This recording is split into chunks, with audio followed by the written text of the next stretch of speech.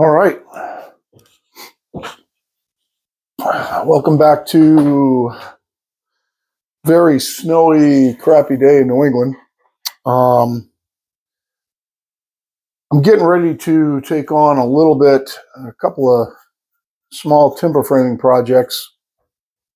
And one of my go-to saws, this is uh, the DeWalt DCS 573 battery uh, seven and a quarter circular saw. And I love this saw. This is my go-to everyday saw. So when I'm out in the field, I mean, I have um, good worm drive saws, lots of corded saws, lots of battery circular saws. But this is my go-to FlexVolt on the fly, ripping, cutting, everyday work saw. Uh, it's been very, very heavily used. I love the power of this saw. I love the battery life of the newer FlexVolt batteries, not the older ones. Um, the power of this saw is great. It does a terrific job ripping the whole nine yards. Love this saw. There is one thing that I absolutely hate about this saw. Um, now, saying that, it has this saw has made me a better sawyer. The reason for that is that this saw will not cut along a guide. Um, let me get you a better view here really quick so I can illustrate what I'm talking about. Now, I'm not saying that all of the DeWalt saws have the same problem. I'm just saying mine does. And I'm going to show you why it has the problem. And it drove me crazy for a long time. Make sure your view's good here. Two things that this saw will not do is number one, it will not cut along a guide. If you, and I realize it's a combination square, but I don't have a speed square with me right now in here. But if you go ahead and drop this on your on your wood, make a line to use as a guide to, to rip square. This saw on the back side here will walk away from the square like like that not, this is very exaggerated, just enough to where I can see that it walked away from the guide. And there's nothing you can do to hold it against the guide. The other thing is your zero line on the saw, uh, which is right here. So when you chalk a line and you use your zero line to eyeball down from here to rip something, when I cut along that zero line, and I do a lot of ripping um, slabs and things like that with chalk lines or sheet goods, um, doing building sheets of plywood, things like that. If I run that zero guide perfect, as I'm going down, the blade will always end up an eighth to a sixteenth off the line on this side. I'll zoom you back up here. I'm going to show you Oh, no, I'll keep you on that view because I'm going to show you why it is that way. At least I think I've finally found it. But um, this saw has made me a better sawyer because what it has made me do is stop relying on a guide to uh, cut square. And now I just cut along the line and I've done a shit pile of building where that's all I've done is cut along a line and have become very, very, very, very good at it. And I can cut very, very square doing that. I mean, extremely square. So what I want to do, the other thing that I don't like, and I'm sure that DeWalt loves this, but uh, for me is this saw does not prop the guard open well. Wow, look at that pencil. The saw does not prop the guard open well with a pencil. And this one's just not going to stay there, maybe. Come on. Just stay there. All right. So the reason that this doesn't cut straight, give me one second and walk over to my pencils here. Let me go over to pencils here. I'm going to need to make some notations on this saw as I show you what's up with this saw. And DeWalt, if you are watching, I'm just going to show you this, and then we're going to I'm going to try to fix it. See if I can fix it. I hope I can. Um, when you are measuring from an edge to a saw blade, uh, one of the best things that, that you can do, especially like on a table saw, is to make sure that you use the same tooth. Um, what the gist of this is is that the this plate, this edge right here, this edge right here, are askew to the blade. So when you are running it along the guide, you're fighting the blade, and the blade's pulling you out off of what this is riding on, which is why I just do it by, I just cut them by eye now. But we're going to find out how much, we're going to find out which way it is, and um, see if we can fix it. I'm going off camera real quick. I'm just going to grab a Sharpie. Get a Sharpie so I can mark the tooth. We're going to find out how much it's off. I don't know. I have not measured it yet. I'm waiting on a new set of Mitutoyo calipers, so I'm using a crappy set here, but this is going to give us everything that we asked for as far as make sure that I'm zero. So we're going to measure to this tooth from the outside of the plate here without deflecting the tooth. All right, so that's one inch, 517 thousandths. So this is uh, 1.517 from here to this tooth, the outside of this tooth. So basically it's telling you that this is supposed to be, this should be inch and a half from the blade. So when you do your offsets for a guide of whether this should be inch and a half, but that would be 17 thousandths off. Now let's go ahead. We're going to rotate it up to the front here. We're going to measure it the front side and we're going to see what we get. Make sure we're zero.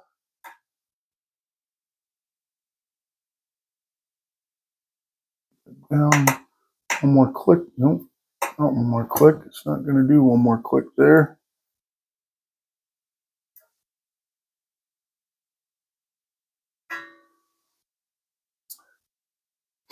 I got one inch, 456 thousand. So it's less than an inch and a half in the front. I'm going to double check it. Try it again. One inch, 452.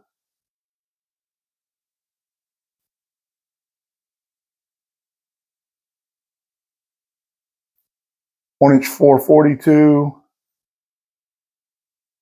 Oh, that deflected the blade. One inch 440. That was a good click. One inch 440. That was a good click. So I got down here one inch point four four zero. So 517 or or zero is seven.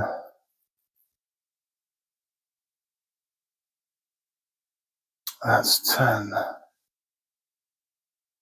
That's 11. Bottom one is four. That should be um seven. 77 thousandths. So let's do for 40, 0, 7, 7.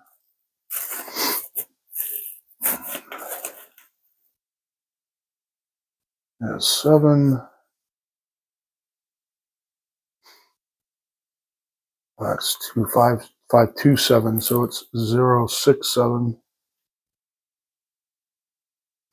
So it's 67 thousandths difference from here to here. 67 thousandths. That's a lot. Uh, so what the, what needs to happen here is that this plate needs to go this way and and go this way because really you want the outside of that tooth to be an inch and a half from the blade, um, based on the si- based on the size of the blade too, whether it's three thirty seconds or if it was a thin kerf or whatever. But for a standard saw blade, you really want an inch and a half. Um, since this is 517 here, I, uh, I, and this isn't easily readily adjustable, what I do want to try to do, I'm going to back you up in a second. I just want to get the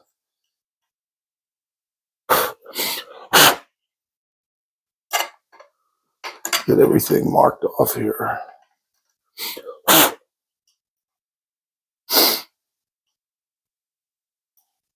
Oh, yeah, yeah, 10.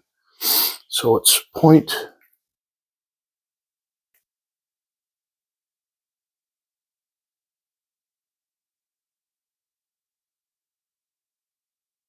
Point zero six seven out. Um, what I want to see now, these seats here are tapered. So what that indicates to me is that when I go ahead and tighten these up, they're going to kind of want to find the own their own center, and they're going to try to pull me back to where I am.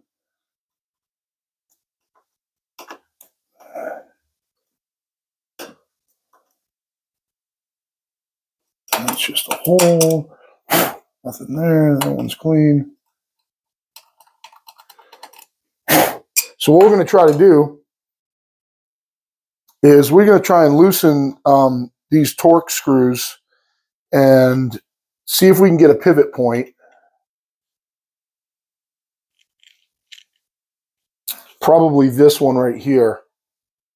So I'm going to loosen these two and these three and see if I can pivot this slightly. I'll, I'll just crack this one barely loose. See if we can pivot this slightly like this. And that should move this front slightly like that and this back slightly like this. Uh, to give you an idea of 67 thousandths,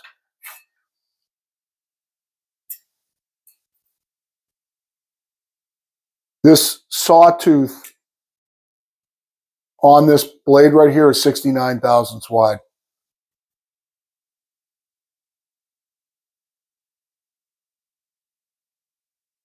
This is 69 thousandths of an inch right here.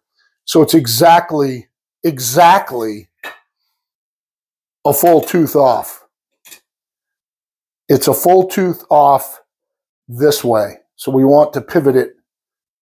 I'm sorry. It's a full tooth off this way. We want to pivot it like this.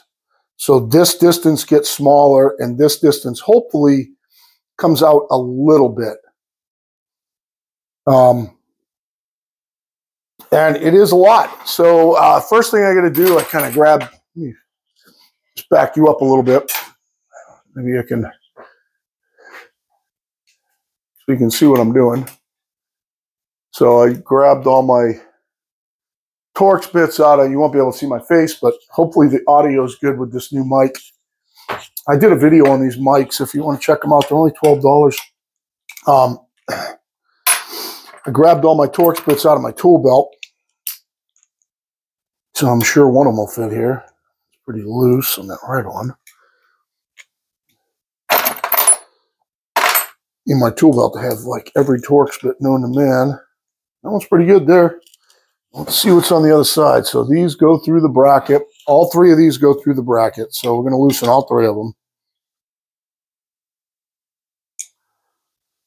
Now, it's going to be easy to say right now, well, maybe you dropped it, maybe you bent it, blah, blah, blah, blah, blah. Now, first of all, I'm going to full well admit I have dropped this saw. Oh, yeah, it shifts a lot.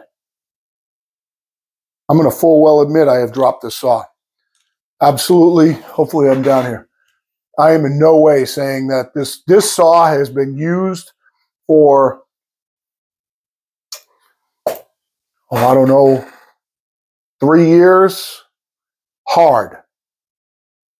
Um, during COVID, this saw got a workout.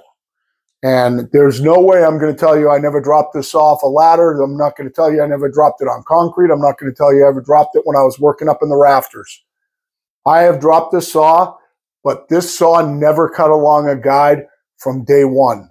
The first day I got it, just cutting along a speed square, it would wa- always want to walk away.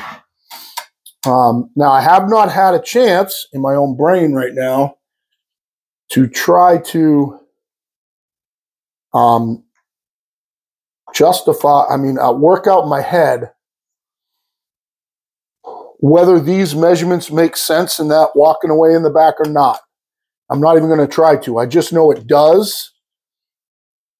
And I just know I would like to fix it. So I know that it's not square to the blade. I know that's the reason why.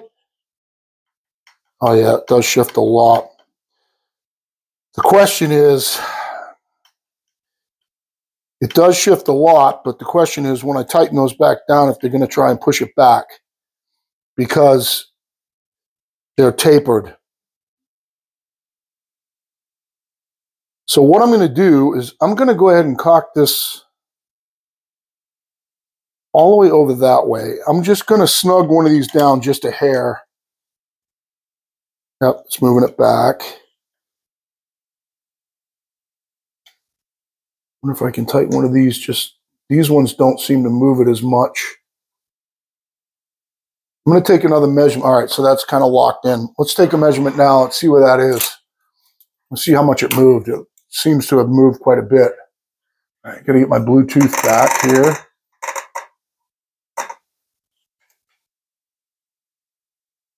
Make sure that I'm zero.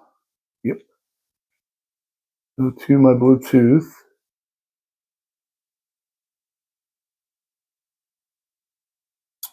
1.509. So it moved 10, well, almost 10 thousandths. So let's run another measurement. Just make sure we're getting repeat. 0.512, probably flexed it. 1.508. So it did move. Let's check it in the front, see if it skewed the other way in the front. Tooth. no way I expect it to be this simple.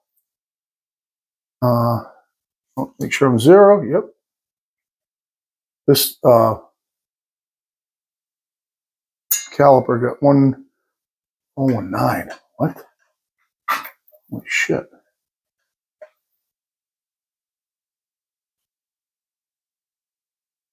Four three two. That's still within eight thousandths of where it was. Four three two. Four three five. So, uh, if anything,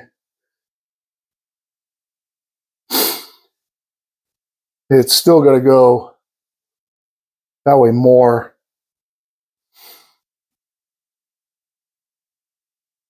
And I don't think there's a lot we can do back here, but these look like they can move easier. So let's try that.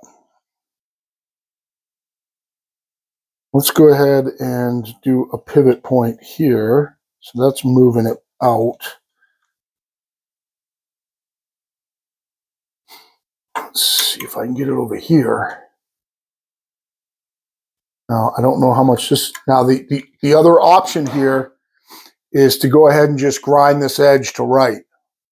Um, or fi file this edge to right, which I can do um, with no problem. I'm just trying to see if it's adjustable enough to do it. Well, that does move a lot.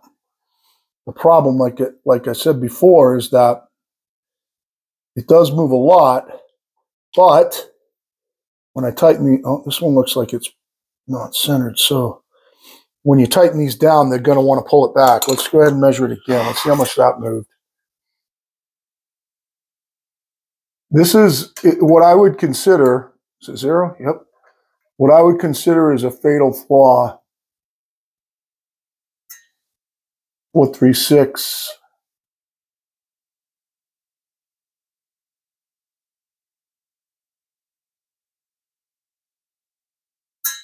Four three five.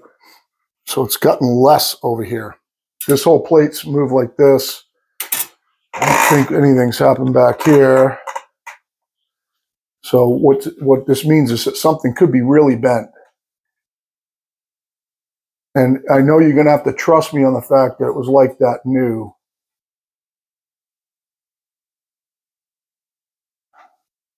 523. I hit that one pretty hard. I think I'm pretty close to where I was.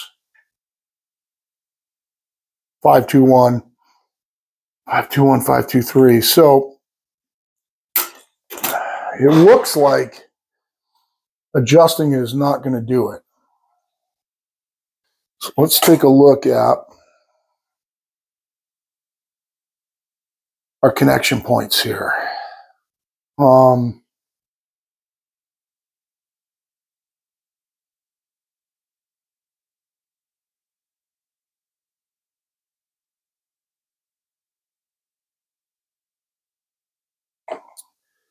I think what I would have to do is I think I would have to take this saw plate off and drill some countersinks bigger. Drill the holes out bigger uh, so that I can adjust it.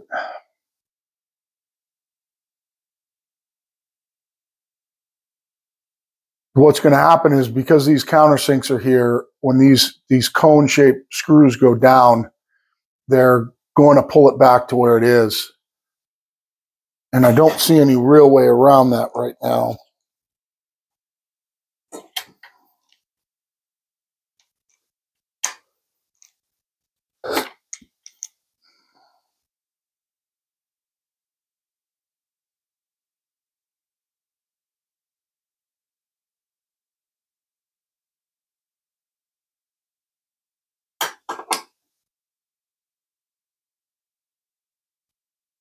See, I can, so I can skew it, but the problem is when I tighten these down, they're going to hit the cone and they're going to pull it back like that.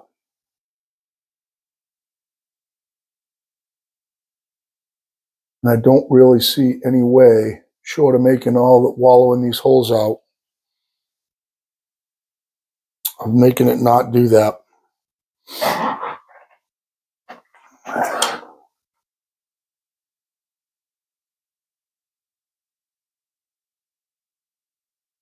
This doesn't have any adjustment in it. This doesn't have any adjustment in it.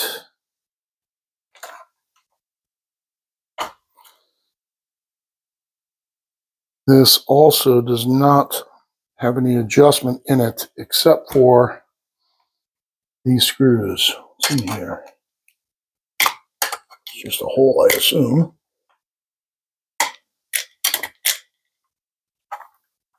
Yep.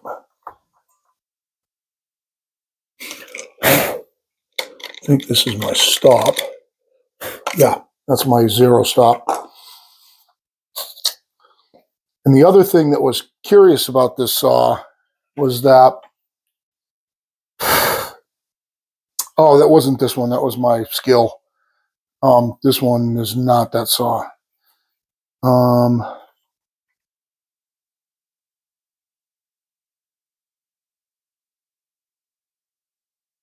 Well, there is another point right here. If I could shim, I don't know if you can see this. This right here.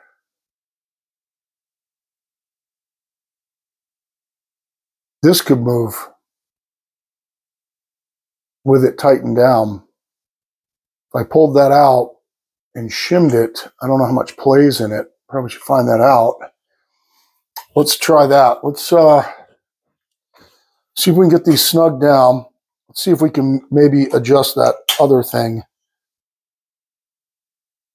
So I kind of want, kind of want this to stay over as far as I can get it.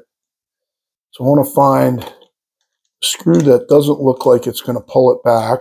I'm going to tighten that one down.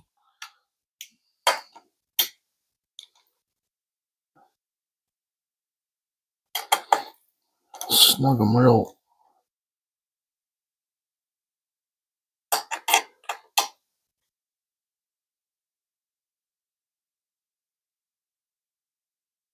And this side here, when we go down, she's going to try and pull it back.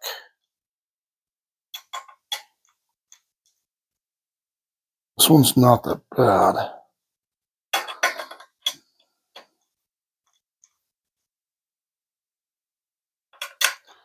So I think what I could do, like I was saying, is adjust that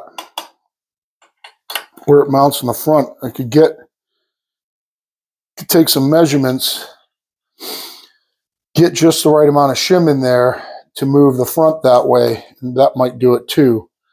Let's go ahead and remeasure it real quick. Just make sure we're in the same spot. That was that was 1.517. Let's see where we are now. Make sure we're zero. Yep, perfect zero. This thing's working. 1.524. Let's try it again. It's actually got bigger.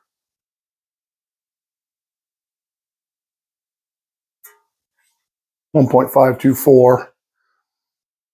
Uh, one point five two four. It's twenty four thousand. It's more than half.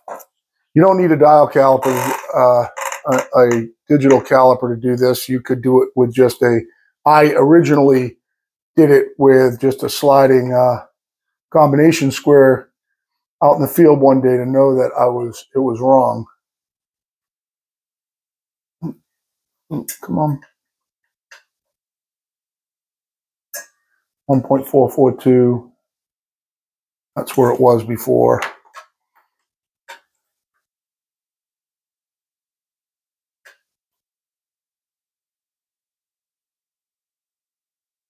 Five oh seven six blades flexing. I can see it. I'm pushing the blade. 1.452. 1.452. It definitely deflected a teeny bit. We'll just call it 1.450. So if anything, uh, this grew 10 thousandths by what I did here. So this did move 10 thousandths more away that way. That helped,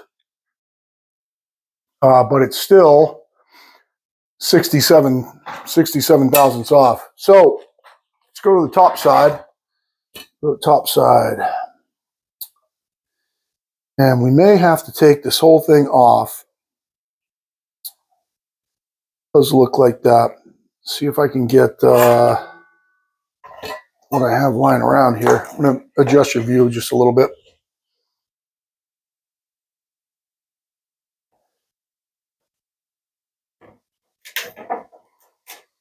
So we're going to have to, we're going to take out, there's a lock nut here, a Torx on the other side. We're going to take this out um, I'm going to take this whole thing off and we want to shim the front side this way. So that means that I think on the back side over here, right here, if there's not enough there, I might have to sand a little bit off that. Uh, and then stick some sort of shim in on this side to pull the front side of the saw this way. That should work. Uh, so we're going to get at that. You can tell we're going to take the Torx out of the bottom of it.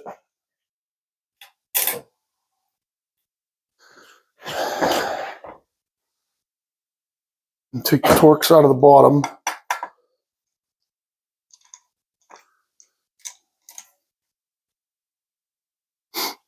see if I got.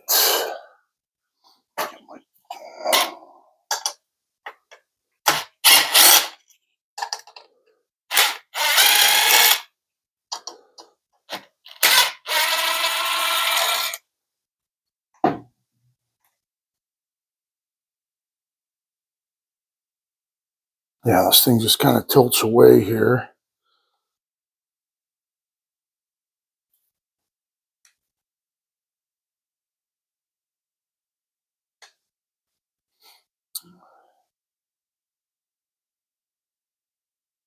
So we want to find the Torx that fits that. Let's get out my guide. screw here. This out of your way.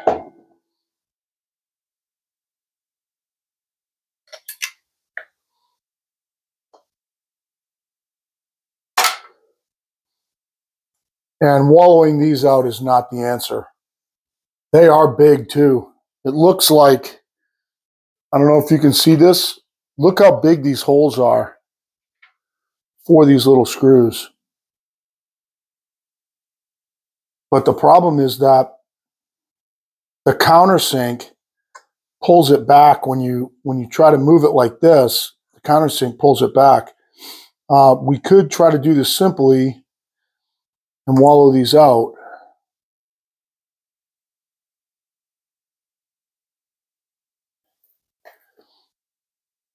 Um, let's see about that. So we know we got to do this side.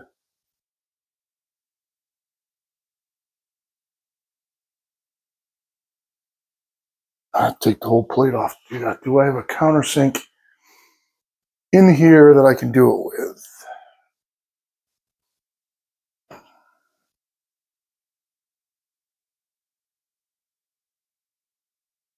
Let's see if I have a countersink over here.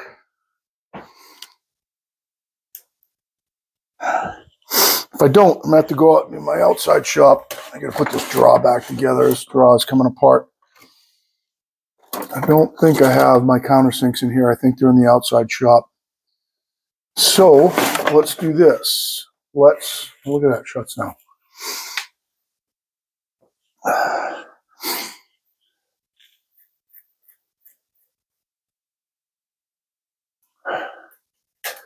Can I just do it?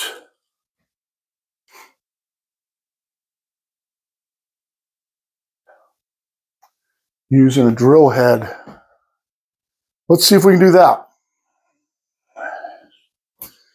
I'm gonna back down here. We're gonna take this plate all the way off.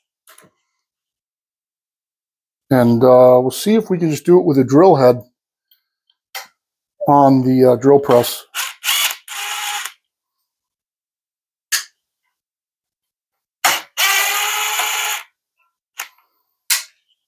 Because, like I said, this is kind of a fatal flaw to this. There's plenty of slop in this back thing here.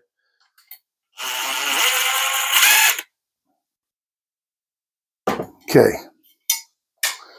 So essentially what we need to do is we need to wallow out this side here, this side here, this side here, this side here. That's what we need to do. Um, I might be able just to do it with just a regular drill. Let me get this thing off the bench here. Throw it in the garbage where it belongs. No, I take that back. That's a good saw. It's a really good saw. So let's get ourselves some drill bits over here. Find out what drill bit lines up with the countersink.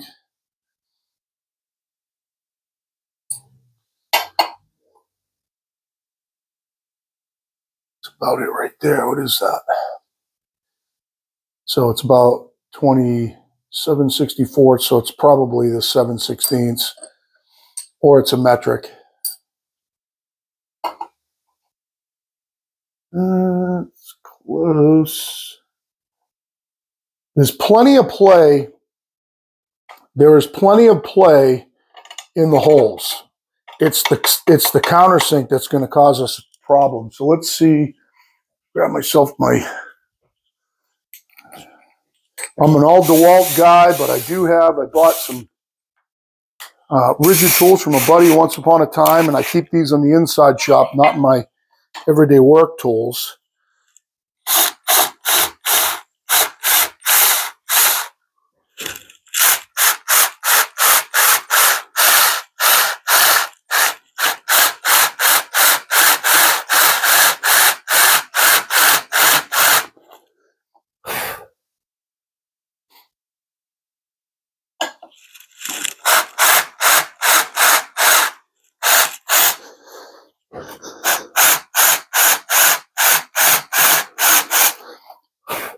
Going to clamp this down. See if I can really put some pressure on that side. Get myself maybe something underneath it too, so I don't drill into my bench if I want to go down through that hole a little bit. Mm. My drill press board here.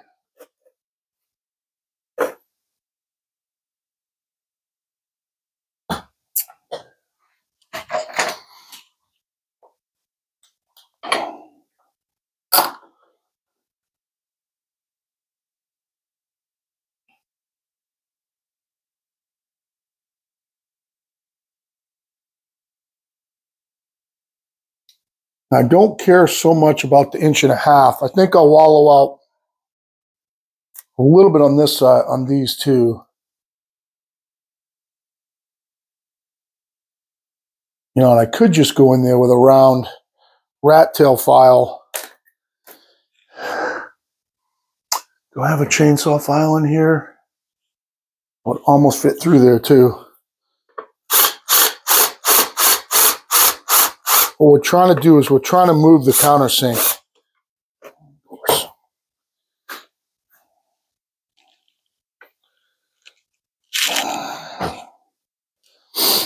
Trying to move the countersink over a little bit.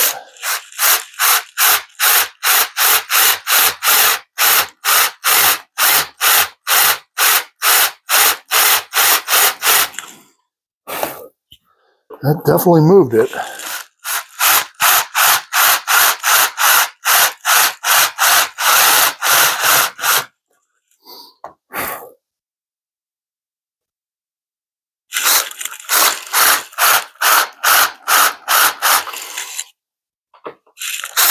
I can move it over, I'll go with a bigger drill bit and drill these countersinks out bigger. I just want to get the meat off.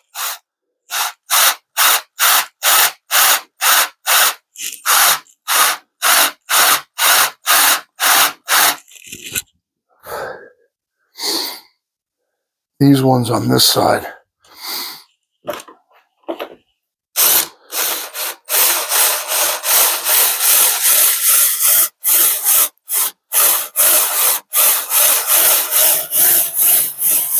I'll work good on this one.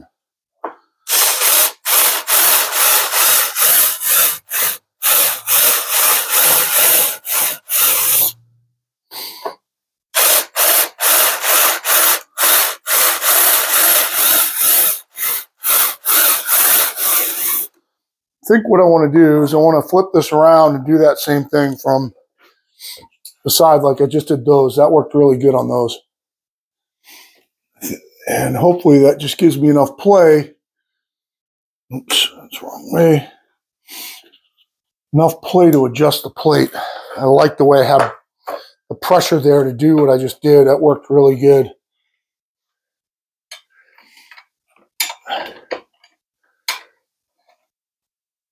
Hopefully, uh, DeWalt sees this and says, hey, you shouldn't have to fix that. No, no. And problem is it the DeWalt's just going to say, oh, I probably dropped it. But I'm telling you, being honest, it was like this way from day, it was like this from day one. It just was. I don't know how long these mics last, so. Yep, that's what I said. Oh, come on, thing.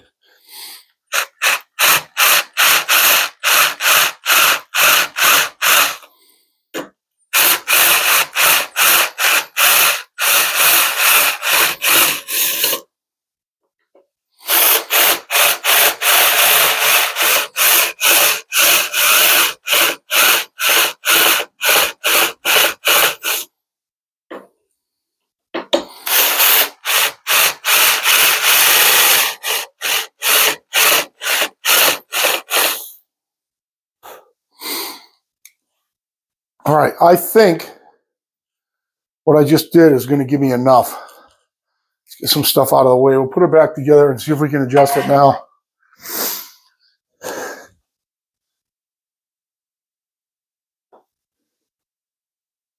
Hopefully that's enough to where there'll be enough slop in the screws and they just won't want to self-center it back to where it was. That'll make my life a lot easier. Oh, Jesus. Shop is such a mess.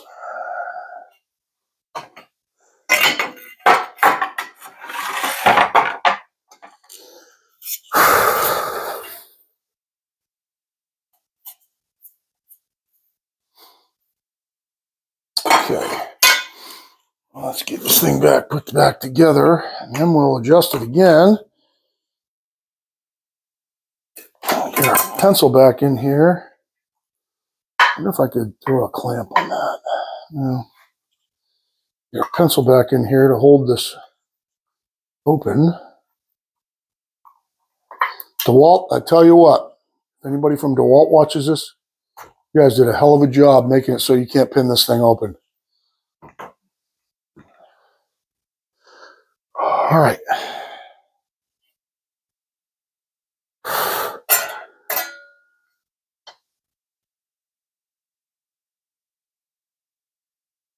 So let's hope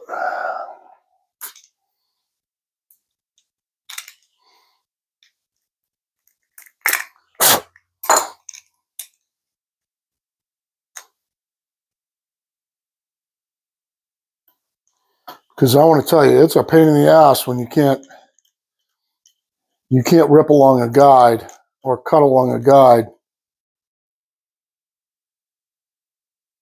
Let's just hope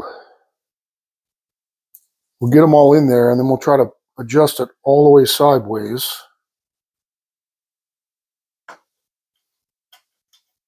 And there is some there's play in this arm, so this side's not the side that's going to do it. That side's the one that's going to do it.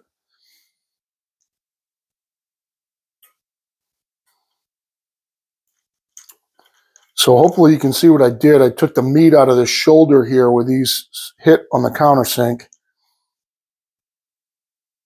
Hopefully enough.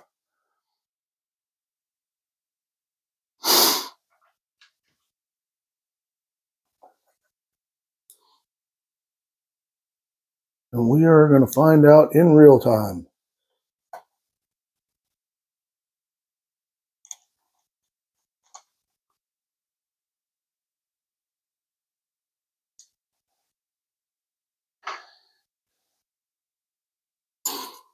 If it's not enough, then I'll, I think I can probably get in there with a rat tail file and wall those holes out a little bit and angle them.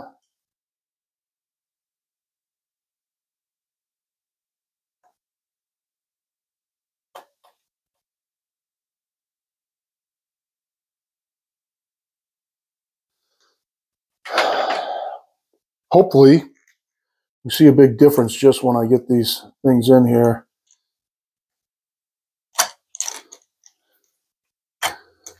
This one down a little bit closer and then we'll try to snap it, pull it all the way over.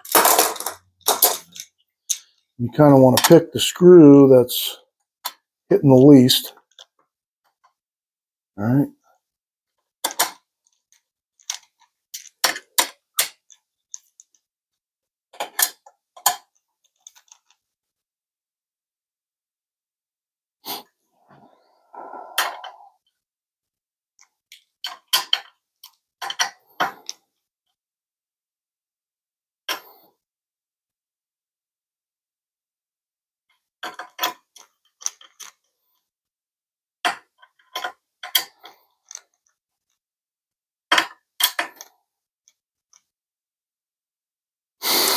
All right, let's see if we affected it. So, find my Bluetooth. There it is. See what this side is now. Sure I'm zero.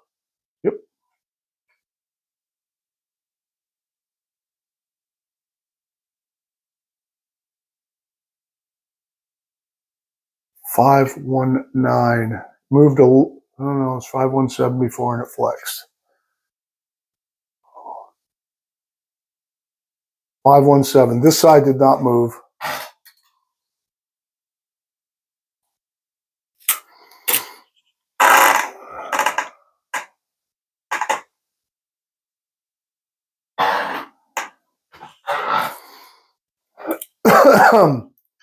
Hopefully this side moved.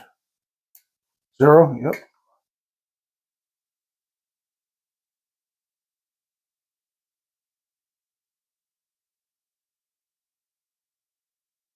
Four five four. Move four thousands. Four five eight.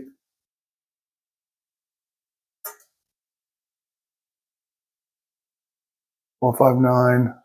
Four five nine. Yeah, four five nine.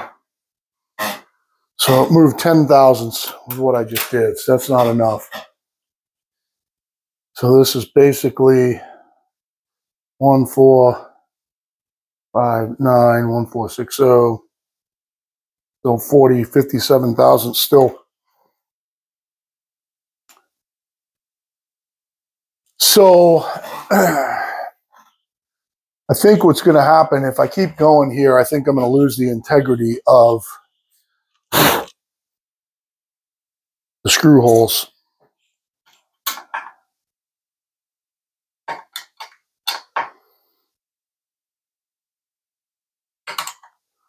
So I don't think that this was the way to go. Still a lot of meat there. I think the only thing to do is to adjust that other or try to bend it, one of the two. I could try to bend this arm this way, that would work too.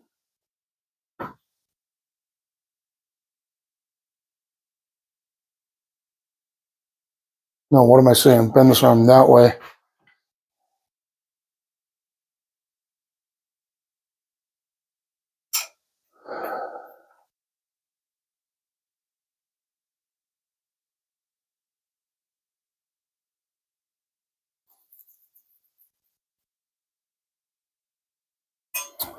So I wonder, let's see if we could do that.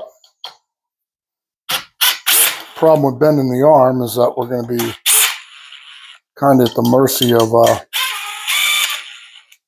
oh, you know what I want to do? Let's do this just to make sure that uh, our measurements are consistent from this side. Well, we can double check it. We don't have to do that. We can just check the width of the plate.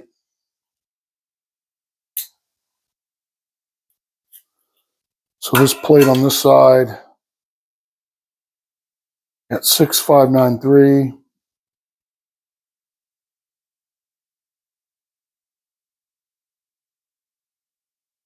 Six five nine three six six zero.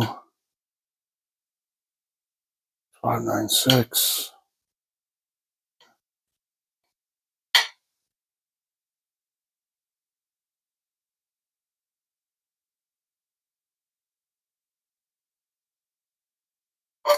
Wow.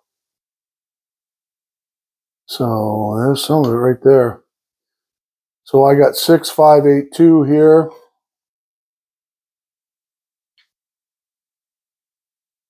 6596 here. So this is 15 thousandths. Make sure we're back to zero. Yep, zero. This is 15 thousandths tapered as it is. It's thinner down here than it is up here. And that just could be some deformation in the metal. 6595.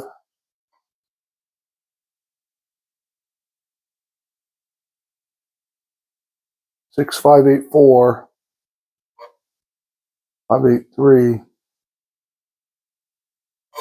So twelve thousandths difference.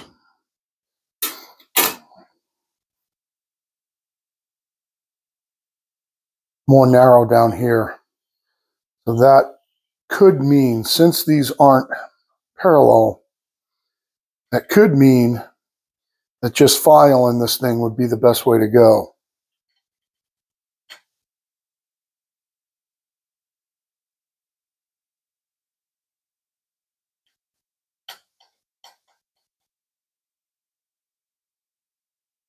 I'm just filing it till I hit my mark. Problem is that you got to keep putting it back and forth. You know, you got to put it, file it, put it back. Unless I come up with a way to hold it down here somewhere and hold it like this, file it,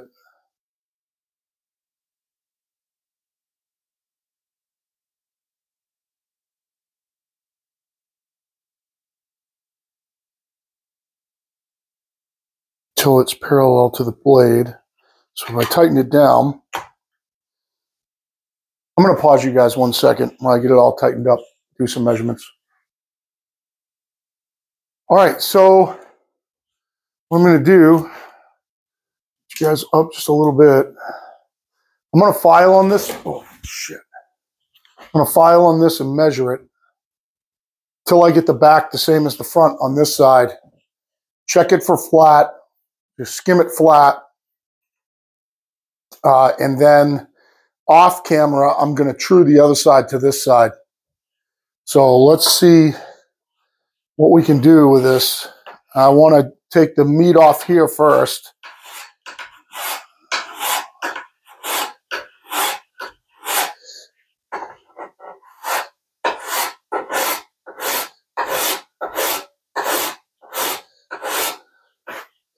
I want to try and stay as parallel as I can while I'm doing this. Let's see how much that took off.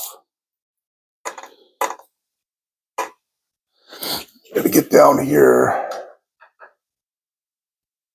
and see how what the kind of progress I'm making so I don't have to make you guys watch for like two hours.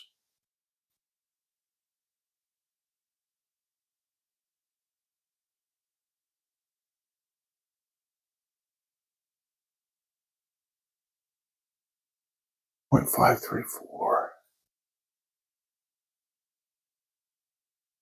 I flexed it a lot. Uh, that can't be more than it was. 0.526.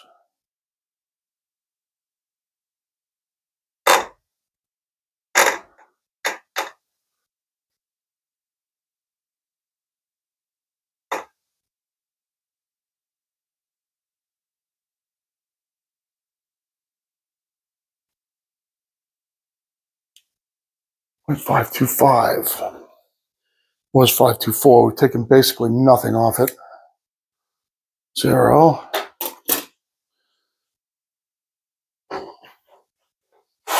Might have to go at this with a with a belt grinder or something.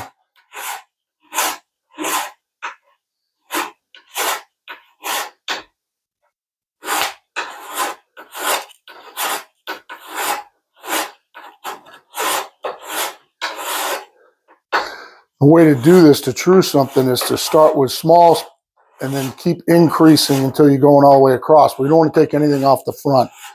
Want it all to come off here first. Then check it for flat and take out the high spots.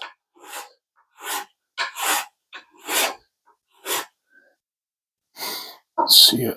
How much that's come down. Zero without flexing it.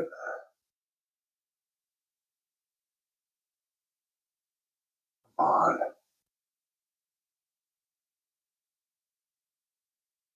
Five, three, two. That's more. I didn't touch it.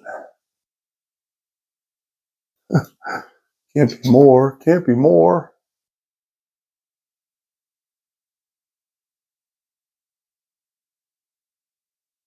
Five, two.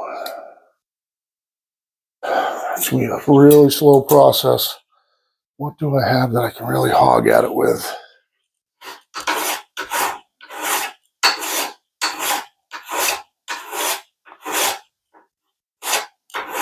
That might have to go to a sander grind up. I mean, a grind up.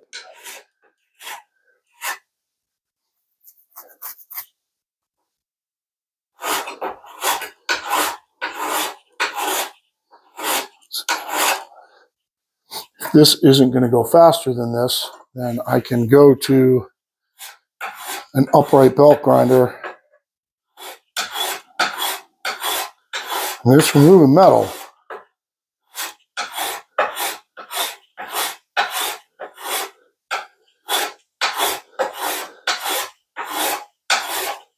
I don't know if you guys can see how much metal's on there.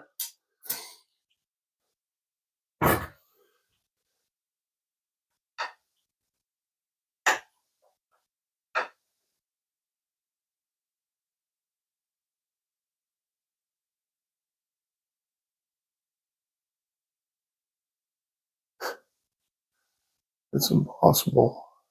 Impossible for it to be more.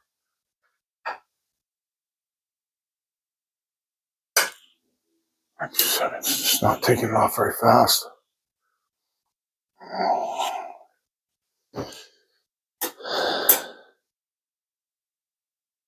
Hmm.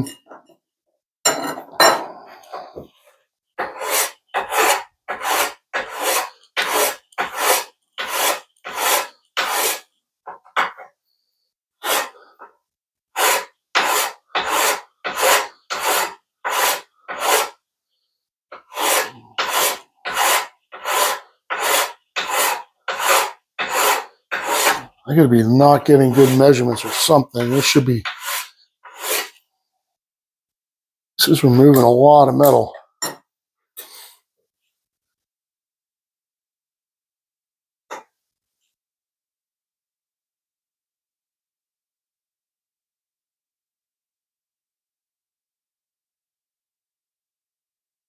Two two. Still not moving metal fast enough. So I'm going to pause you guys again one second, see if I can get something else set up here. All right. So I got a grinder set up. Uh, what I'm going to do is show you guys this way. I know that I got to take 62 thousandths off this. Uh, I'm going to go ahead and set 62 on my dial indicator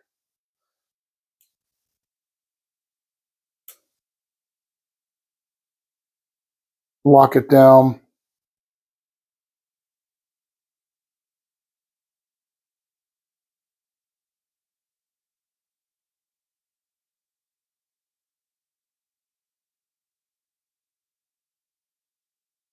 So that's set at 62 thousandths.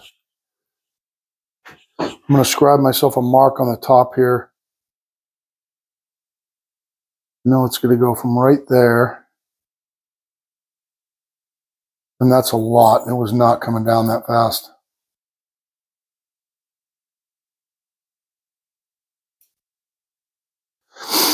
We're going to make ourselves a line down this thing. Scribe ourselves a line.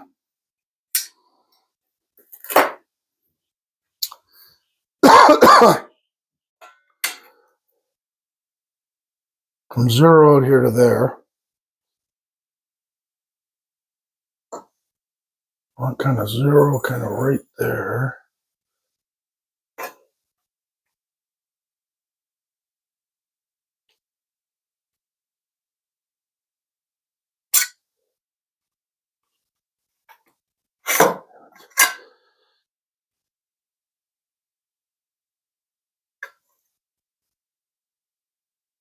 want it just kind of flush up here. Know that it's 62 there.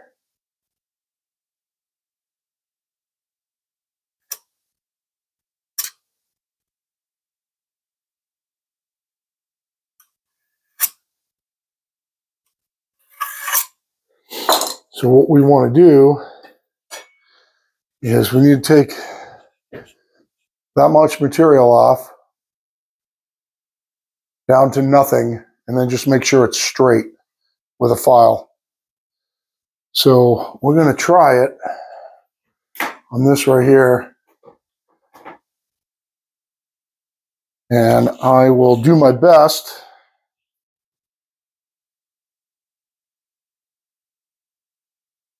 to grind it as square as I can. Anything that I mess up, I can fix with a file. So it's going to get a little bit loud here for a second. Well, let's try it. Uh, put this thing down for a second.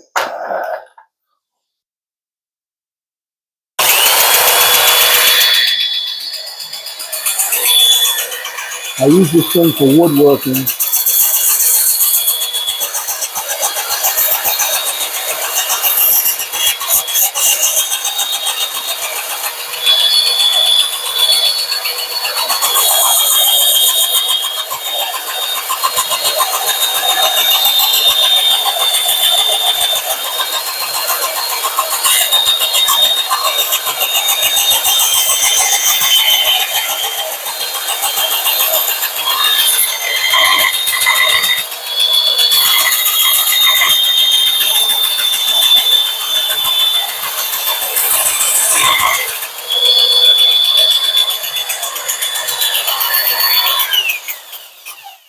Let's take off the dusk shield so I can get lower on it.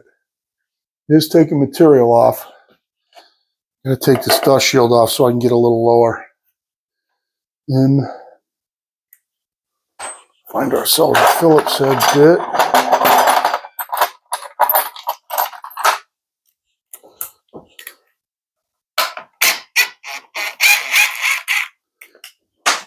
Oh, figures.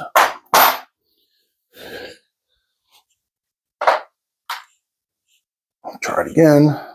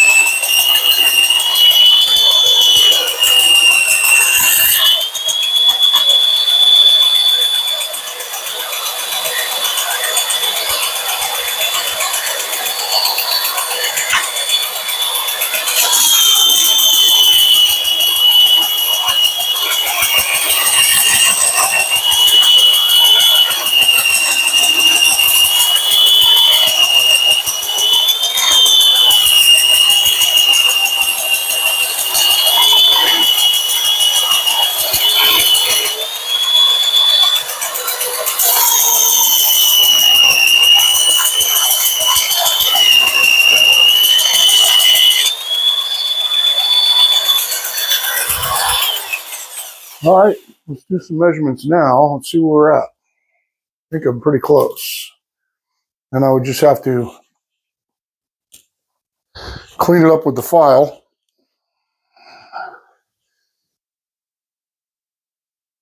I'm still a little off the line. Let's just measure and see where we are.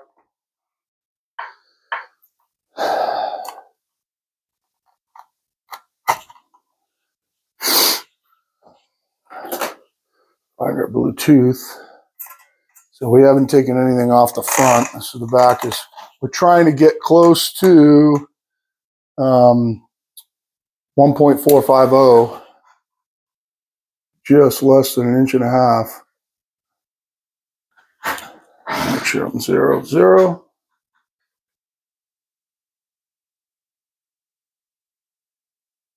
And I don't want to deflect blade. Four, seven, eight. We're getting close.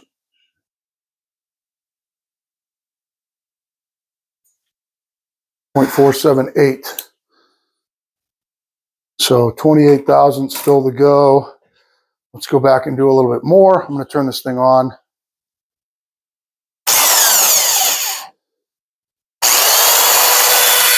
Back you guys up a little bit.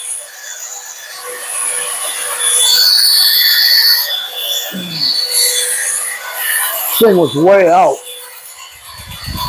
It was way, way out.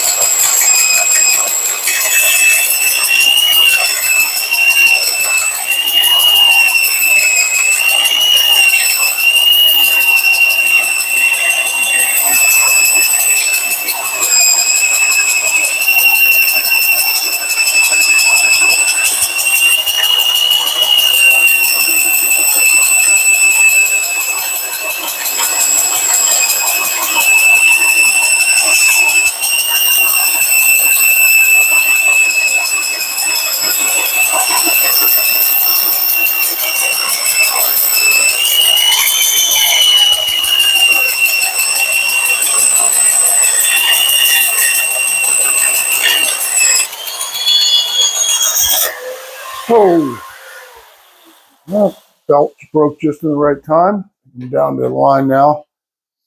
Let's check it again. And we'll file her down.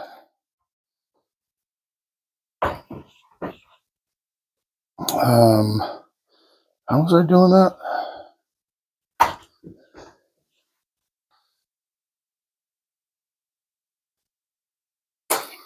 Should be pretty damn close now. Make sure it's zero.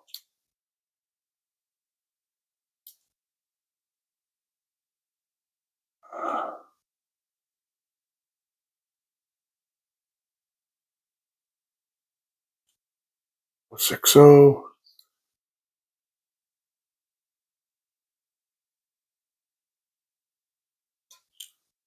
455. Let's go to the front.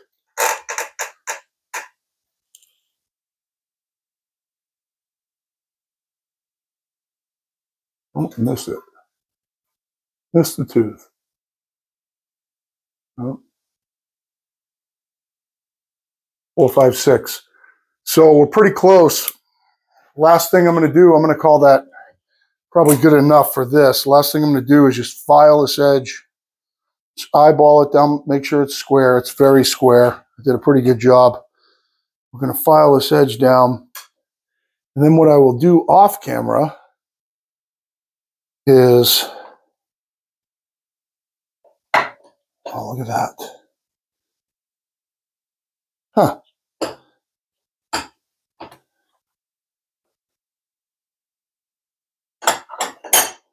What I will do off camera is I'll make both sides parallel. So let's just check it with a file first.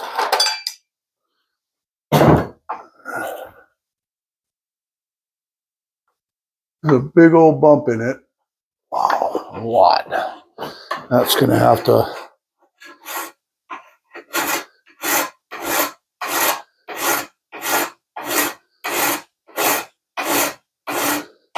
Just want to take the high spot. So taking it off, it's taking off the top.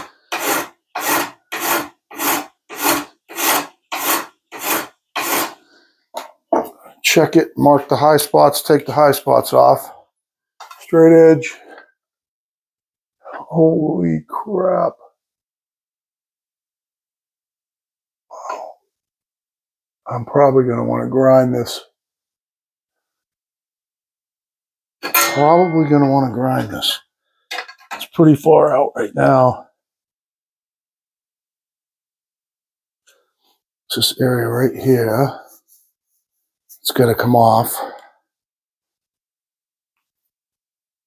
I don't know that I could take it down anytime fast with a file.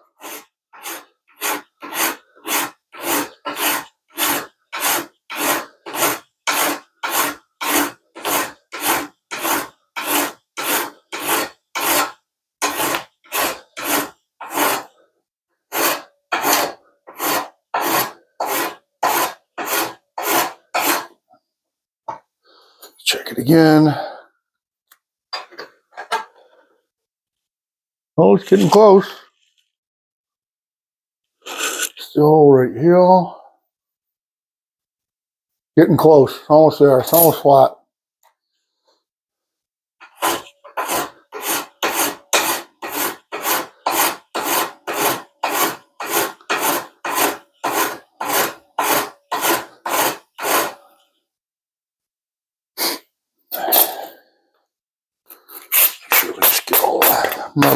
Metal out of the file.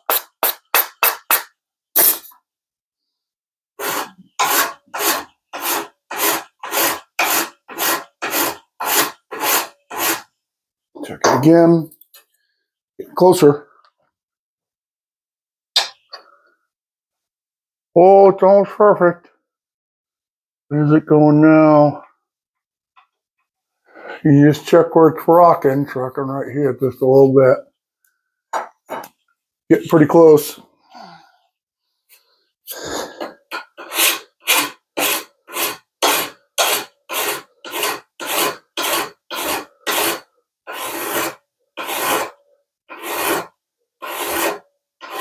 I want to stay away from right here. I just want that to be flat. So we're just trying to feather into that area. Check it again.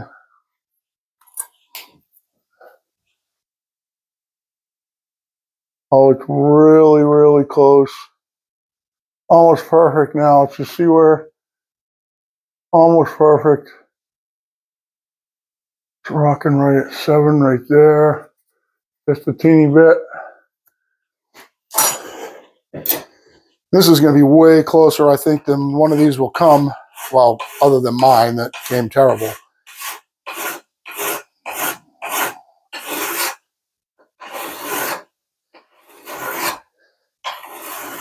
We're talking about getting it down to, you know, square within a couple thousands.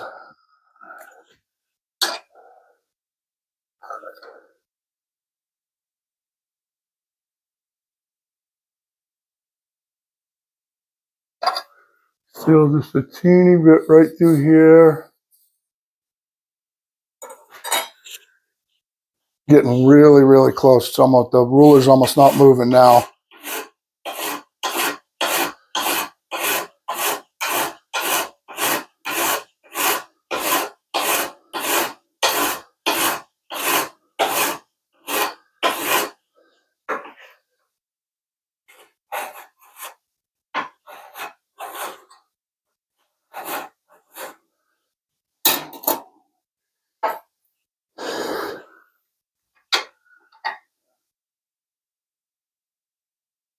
Oh, it's almost perfect.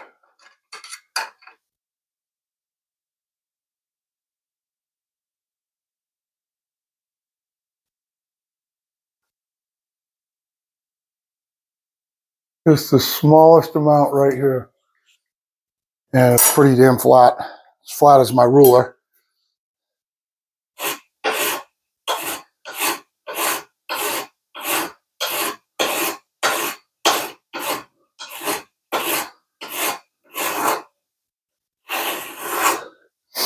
Now, we just want to take a file and make some jointing passes.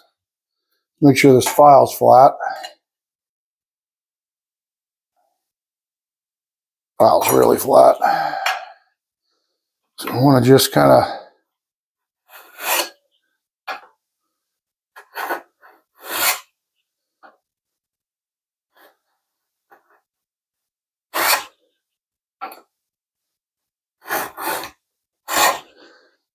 All right, I think, I think we got it.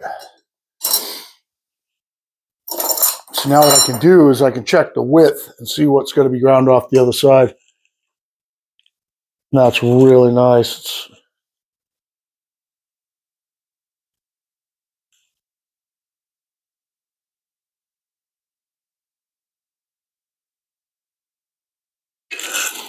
maybe still just a teeny, teeny, teeny bit right here.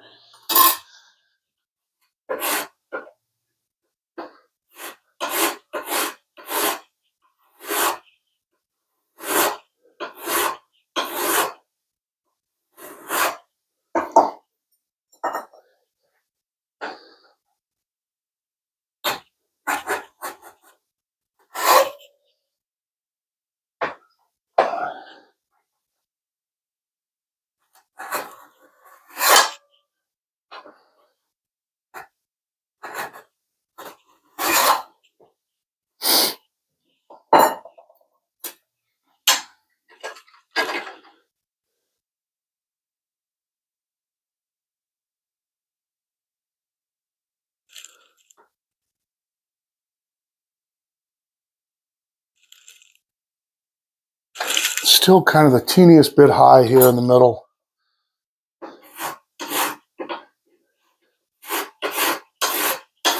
I should have known. I should have taken the middle out first.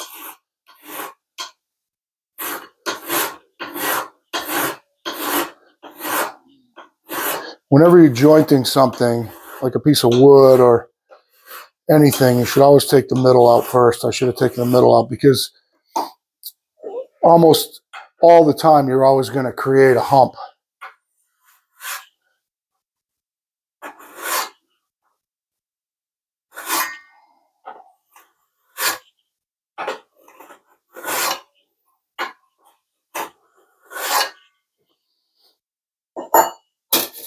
Almost all the time you're going to create this shape when you're jointing. That's beautiful. Have the smallest amount of movement. Can I see where it is? It's kind of like right here, smallest amount of movement.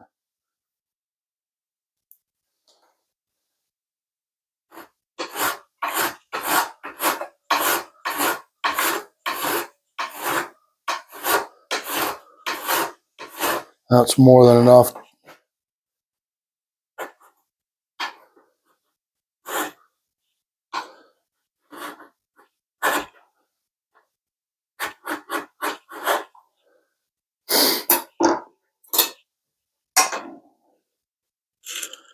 Awesome. It's perfect. All right, so